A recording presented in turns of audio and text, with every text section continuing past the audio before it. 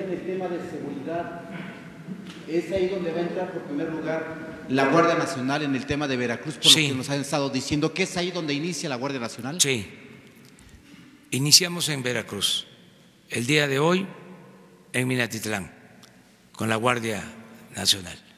Eh, por eso me acompaña el Gabinete de Seguridad y el general secretario Crescencio Sandoval va a informar sobre este asunto en particular. Recuerdan de que son 266 coordinaciones. Ese es el programa. Tener eh, protección para los ciudadanos en 266 coordinaciones territoriales. Eh, ahí eh, van a haber elementos de la Guardia Nacional en cada una de estas coordinaciones. Entonces, la primera que se establece ya con el número de elementos suficientes, con mando único, va a ser la de Minatitlán del día de hoy. Pero ya llevamos eh, tiempo trabajando en esto. Ya eh, desde hace tres meses, cuatro meses, desde el inicio del gobierno, se están eh, reuniendo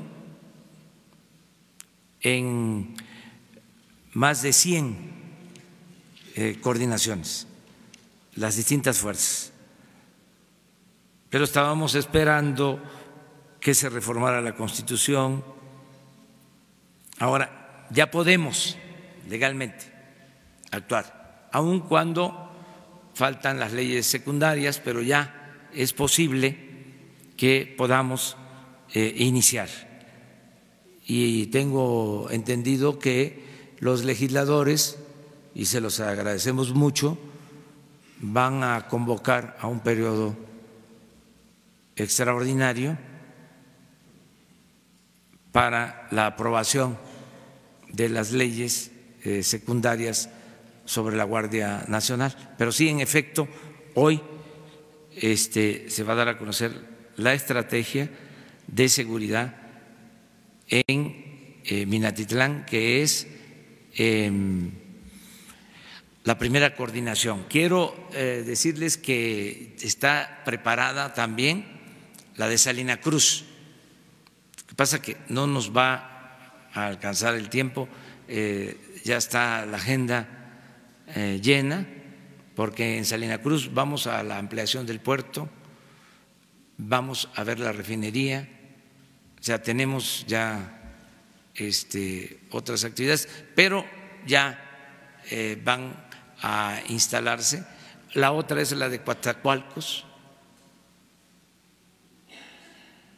Estamos hablando del sur de Veracruz, pero así es en Tijuana, así es en Benito Juárez, Cancún, donde se está necesitando con más urgencia el que de inmediato empiece a funcionar la Guardia Nacional.